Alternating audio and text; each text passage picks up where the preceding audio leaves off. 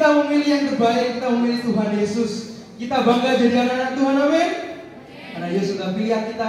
Di antara semua pilihan yang ada di dunia, kita tetap milih Yesus. Haleluya.